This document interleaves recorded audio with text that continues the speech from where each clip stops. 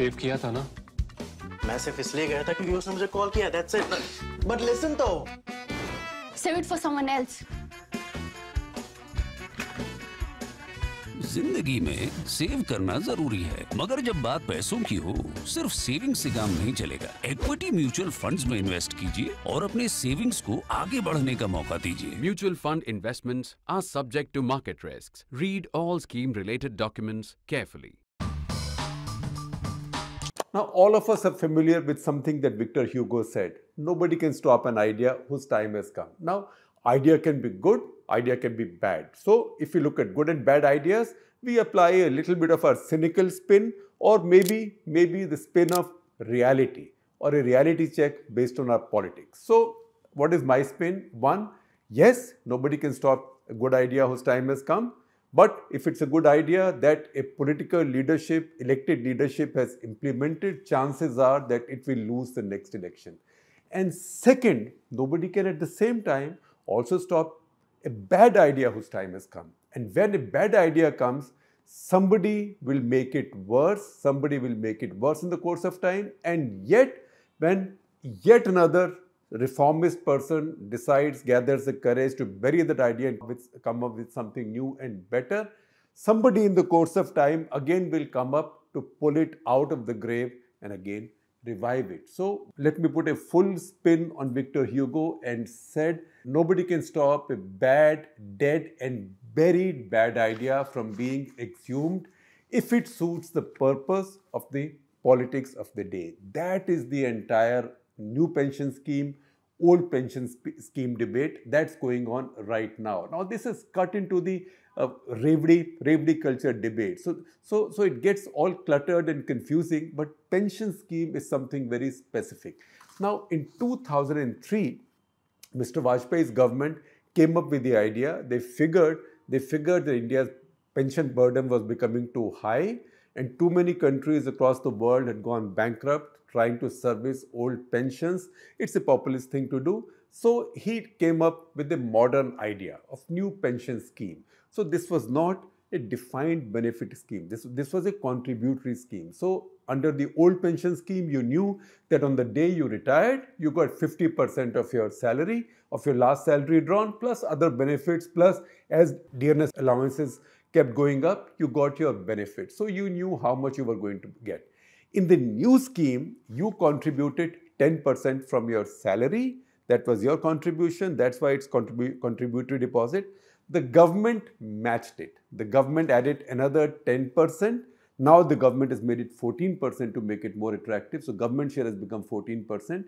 That then was given to a trust which invested this. And within that trust, you can now choose your fund manager to it, there's, a, there's a panel of fund managers to see who will who you think will do best. And there are norms and then this money keeps growing. And as you retire you can withdraw 60% of it of the corpus if you so wish. Another 40% has to go into an annuity. What's an annuity? It goes into a kind of a deposit with any of the impaneled uh, funds which gives which gives you interest on a yearly basis like a pension. So you get lump sum and then you get a pension. What happens in this case is that you are contributing now and government is contributing now as well. So nothing is being left for the future. So when a person retires, that person's money is already in this corpus earning interest or whatever other growth, whether whether part of it is an equity or or or whatever. So once again, this is not a liability to be paid by our future generations. But old pension schemes or OPS as it's called, under that all liabilities are paid by our future generations. So I will try and explain this to you. This is quite complicated and I am helped a great deal here and I'm relying greatly on this report done by State Bank of India's economists headed by Soumya Kanti Ghosh. And it's a wonderful report. I will share a link with you. Uh, It's called Ecowrap. It's one of their, their periodic reports. And they tell you if you now start shifting, this idea of shifting to old pension scheme, they say is a route to fiscal harakiri. They say we should not commit fiscal harakiri in the quest of populism. So to try and understand this better, we first have to figure out a few acronyms that will feature again again and again. So you know OPS and NPS. OPS is old pension scheme, NPS is new pension scheme. And I told you the difference between the two. The other is PAYG or P-A-Y-G, that is pay as you go. So PAYG was the old pension scheme, which is pay as you go. When an employee retires, you take from whatever revenues you have for this year of the budget, you pay the person, you start paying the person. So every year your pension bill go, keeps on going up. You are not making any provision for any pensions, right? So in, the, in, in that sense, every year your budget is paying for more pensions. So that is pay as you go. Third thing that we must, must understand is implicit public pension debt. So what is implicit public pension debt? That is, if you go back to the old pension scheme, that means you then have to calculate what will my pension budget be 10 years from now because you are not providing for it right now. Under new pension scheme, you are taking 10% from the employee, you're putting 14%, that is then growing. Uh, so that you've already put away. But the, on the old pension scheme, you have to then make a calculation. It's a, it's a very complex calculation. You have to see how many employees you have, the number of employees, how many will retire, when, what will be their aging analysis, what's been the entry age of workers. So let's say, let's presume that the entry age of workers in the government is at 28 years. Then expected lifespans, which keep changing. In fact, fortunately, they keep in, keep improving all the time. Uh, then the size of average benefit, which is in the old pension scheme, 50% of the last pay. Retirement age and discount. Now, you know why governments are under pressure to try and increase retirement age? Because they think that, look, the moment the employee retires, the employee is doing nothing, but I will have to start paying pension. So let me get more work on a salary for two years. Let me, let me delay the pension burden for as long as possible. So retirement age and also a discounting. Discounting means you have to take out net present value. So you don't have to be a chartered accountant to understand that. So what will be worth 10,000 rupees 20 years from now? What is that worth today, right? So you do a, do a net present value accounting. So that is the implicit public pension debt. So if you look at implicit public pension debt right now, that will be by 2036 if everybody goes back to the old pension scheme will be humongous. So will be humongous. So if you read what Arvind Panagariya is saying, Arvind Panagariya has been interviewed by the Indian Express. You can see that article. And he says that see what happened to Brazil that in Brazil, almost 12 to 13 percent of their GDP is now being used up in paying pensions.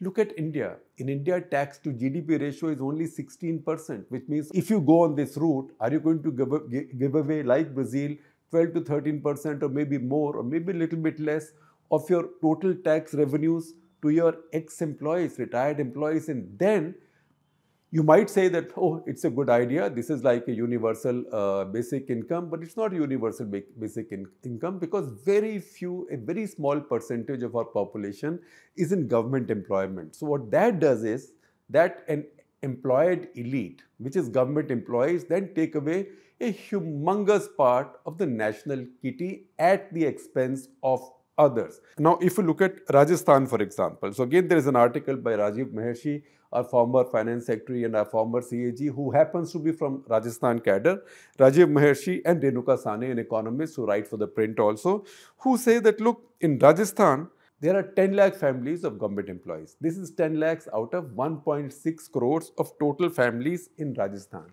which means this is 6% of all of Rajasthan's families depend on the government, work for the government, either take a salary from the government or take a pension from the government. Rajasthan government's current salary bill is 60,300 crores. Its current pension bill already is 23,000 crores. So that comes to 83,300 crores for a medium-sized state. Rajasthan is not a small state. This comes to, this 83,000 crores, 83,300 crores comes to 56%.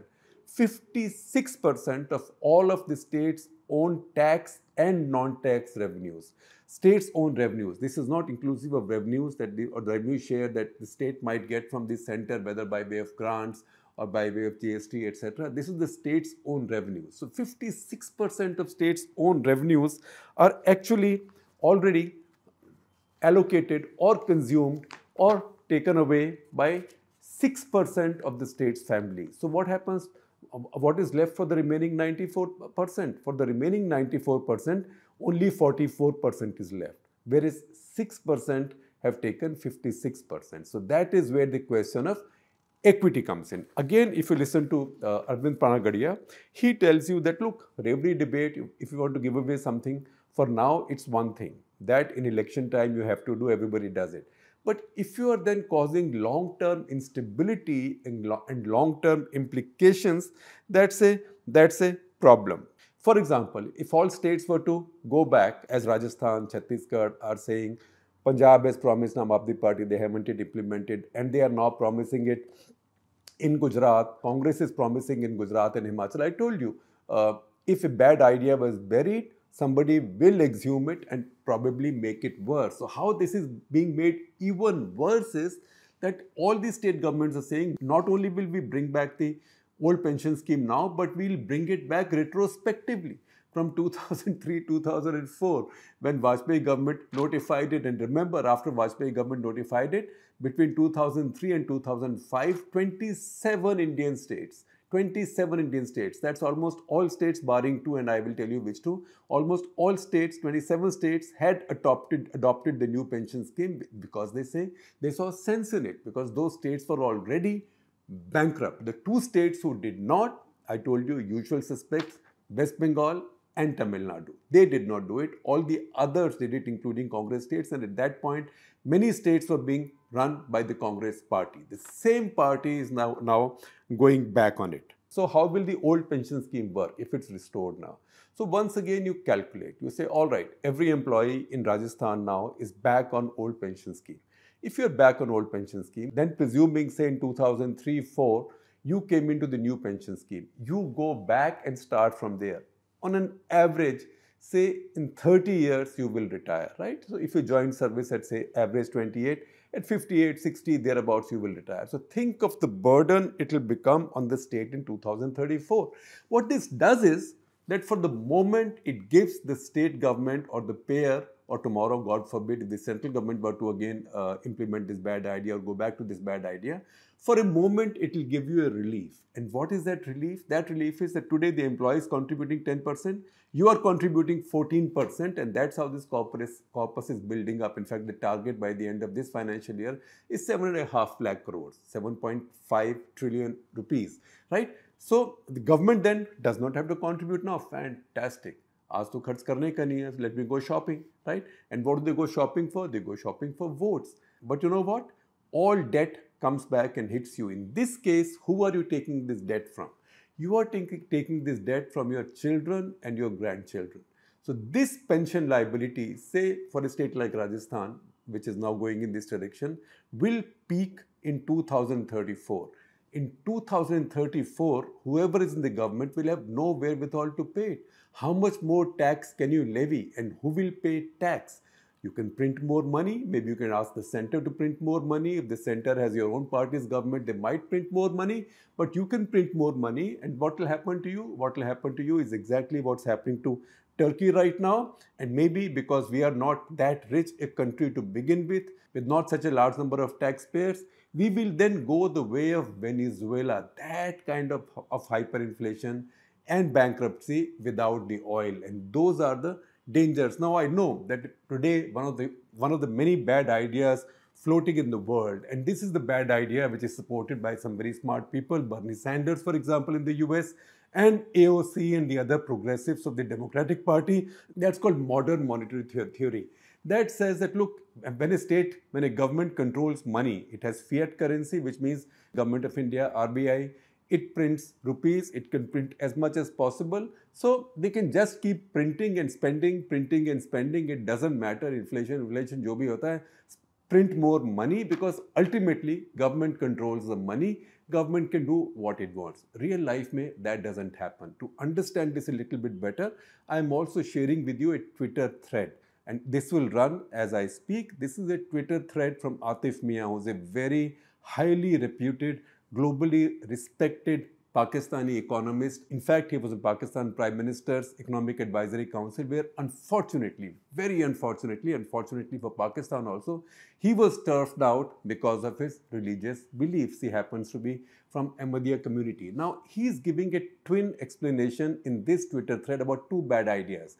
One is cryptocurrency because he says, look, the reason countries have fiat currency, that is currency issued by the government, is because you need a monetary policy, a monetary authority to then control, then to also see how they can use this currency to either drive up growth or control inflation or balance, etc., etc. This idea that you can suddenly produce a currency out of nothing, which is crypto, is nonsensical. But equally, he says the idea on the other extreme, which is the modern monetary theory, which means just as these guys say it doesn't matter what the government prints, the other guy says the government should print as much as possible and distribute because, because you should not worry about fiscal deficit. So these ideas are the real bad ideas floating in the world right now. You will understand these better reading Atif Mian, but in this case, the pension scheme, this seems closer to the modern monetary theory that listen, आप पैसे दिए जाओ or chhape jao. The fact is that even if you keep on paying these guys and even if you keep on publishing more money,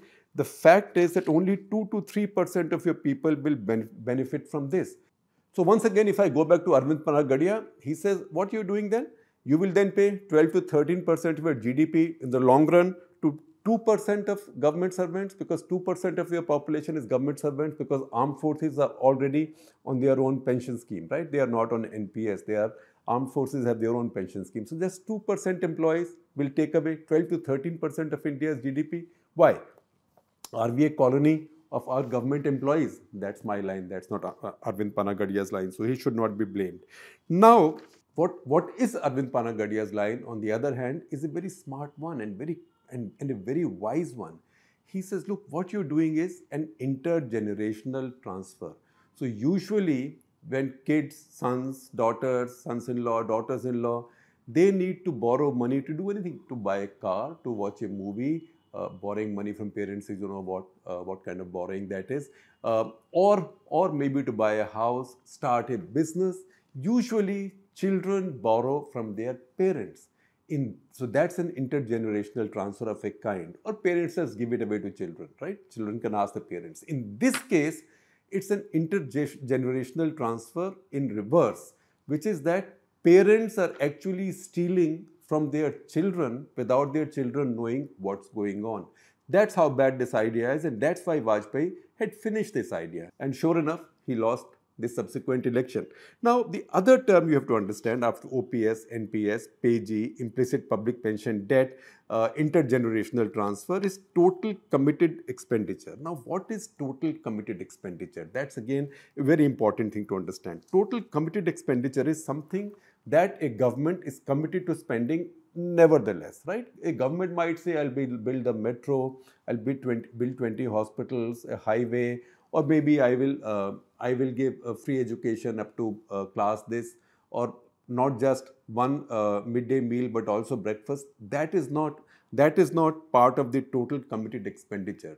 That is other expenditure, and you have development expenditure, etc., etc total committed expenditure is a combination of salaries, pensions, interest payments on previous debts, and subsidies, right? So add all of these, it's already coming up to 60% of all government spending in India. 60%, 6-0.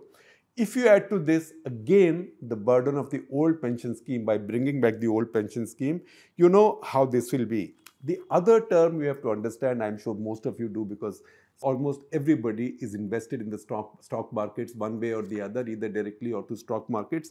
That is CAGR, that is compounded annual growth rate. Now, if you look at the compounded annual growth rate of pension, of pension burden in the past 12 years leading up to 2022. And remember, these are people who, who were on old pension scheme until 2003-4 and, and have continued on because when the new scheme came, those under the old scheme were grandfathered, which is a way of saying they continued to be as they were.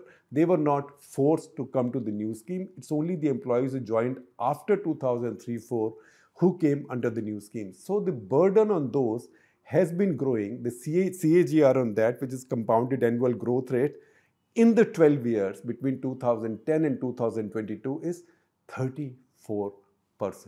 And you know what will happen going ahead? It's not going to get worse because our, life expectancy, as I said, fortunately, is going higher and higher. And now, because, because governments are under pressure for employment, because there is so much unemployment, they are now giving out government jobs like Revdi. So once again, we'll be walking ourselves into a terrible debt trap, except that this will not happen in our lifetimes. If anything, our generation will benefit from this. Our generation, I mean, people who are now elected to govern us or who will get elected in the next couple of years, they will benefit because their budget burden immediately will come down because that 14% that they deposit along with their employees' uh, contribution, that they will not, not, not have to pay now. But they would have then vacuum cleaned our children or their children and their grandchildren. That is the worry about this. Now, to understand these implications better, I am also using some graphics from the State Bank of India report. Thank you, State Bank of India and Soumyakanti Ghosh. So, one, look at life expectancy and at birth. See how India's life expectancy has been going up over time. It's a wonderful thing. But remember, it then has an implications for pensions because the longer a person lives, longer that pension has to be paid and pension keeps going up with DA, etc., etc., etc. Number two, dependency ratio. Now that is a very crucial thing. Dependency ratio is the percentage of people who are earning as to the per percentage of people who are not earning. So basically, you would say the ratio of those above 60, most of whom you can presume are retired, or in any case, retirees are 60 plus, then those between 15 and 59 you would presume those are the people who are in the earning age. So, and they will be paying, paying taxes so that the retirees or the dependent populations can be looked after. That dependency ratio over time will get worse. In fact, till 2036, it will not get so bad in India because by that time, India's young people today will all be, all be becoming adults and start earning. After 2036, it will become a disaster it will become a disaster of the kind that India will find, that our future generations will find very difficult to handle. So what happens with governments is that they say, okay, let me go back to this old pension scheme because today it will save me money. Today I will not have to pay because my employees are young. But in the course of time, it explodes as population ages. So the State Bank report also raises red flags for us. Number one, they say India's demographic profile is undergoing structural changes. One, there is declining fertility. We are producing fewer and fewer babies. Uh, that is something that WHO, Lancet, everybody has now confirmed. And, and our own National Family Health Survey, which is very reliable, number five has come out now. Our, our fertility rates are declining, which is great. Second, our longevity is rising. We are living till longer. Third, our southern states are aging. That's because southern states control their birth, birth rates much earlier than the rest. In fact, if you saw the data that just came out, tells you that a lot of the 5% of all of the population growth in the world is now coming from two states of India, that is UP and Bihar. So southern states have begun aging very fast and that will cause an imbalance. And fourth, because Hindi states will now be younger and younger because they're still producing a lot of babies, at least a lot more babies than say the South is doing, that will also create regional imbalances. And then to understand how this will work, we have to go back and check with an aging index that Rakesh Mohan, one of our foremost economists, former deputy governor of uh, Reserve Bank of India, former finance secretary, and today he is heading a pre preeminent think tank, CSEP he, he came up with research in 2004. So that research would indicate that today, so currently, for example, those at 60 and above would be about 40%. There'll be 40 of them and there'll be about 100 who are say at 15, 1, 5, 15. Going ahead, this will change. So by 2036, this number will be 76 to 100. That, that's because we will now we are now producing fewer babies. Then by 2050, when our population is 164 crores, 32 crore Indians will be 60 plus. So by that time, by 2050, our dependency ratio will be completely unmanageable. We'll be we'll have too many people, older people, dependent on too few young people. Now, it's one thing for the Japanese to manage this, right? But Japanese also have lots of other economic strengths. They also started much richer. But for a country like us, with inability to tax beyond a point, this will become an impossibility. And these are things to and these are things to look at. And that's where it's very important not to do populist things now, which bring in additional burden on our future generations. Now, just to give you a little warning, a little alarm, I'd like you also to see what's happening with our states right now.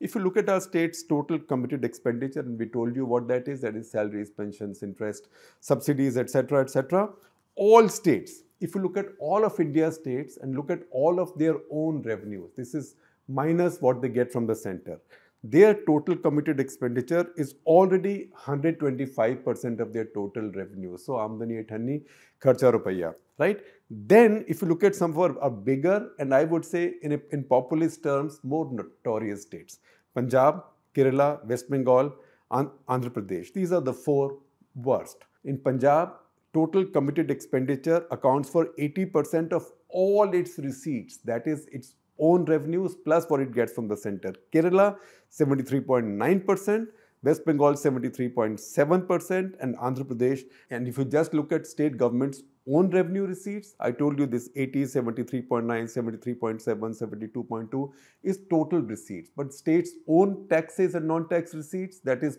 before they've got anything from the center, this total committed expenditure ranges from 149% to 191%. That's why you find our state governments universities are so poorly funded. There's hardly any research, faculty positions are vacant, etc., etc., because the state governments have simply got no money left. So going ahead, look at that one big figure. As we as we continue to fall into the trap of these bad ideas, today today our dependency ratio in our country is 16%. That is the ratio of older 60 plus 60, 60 plus people who depend on those in the age group of 15 to 59 who are earning and essentially in whose taxes are the older generations being looked after, right? That dependency ratio today is only 16, which is very healthy and very robust. And this is India's demographic strength. In 2050, this will become 60%. So anybody, anybody who's lapsing back into this nutty ideas that were buried by Mr. Vajpayee in 2003 and that were supported by the Congress party, by Dr. Manmohan Singh. In fact, the PFRDA Act, which runs these pension funds, trust, etc., etc., that was passed by the by the UPA in 2013. It, it, it was one of the last laws it passed and it was one of the best laws it passed. It's very tragic today that Congress party itself is going back on it. Its governments in the states that it runs and, the, and, and its party in the states where it's contesting. And that's why I greatly welcome the fact that one wise man in the Congress party, Praveen Chakravarty, see his tweet. He has tweeted the article quoting Arvind Panagariya and he has explained why this is such a bad idea. That if you give this uh, old pension scheme in Gujarat, a very minuscule number of Gujaratis will then be able to vacuum clean, basically steal from the pockets of so many others in their state.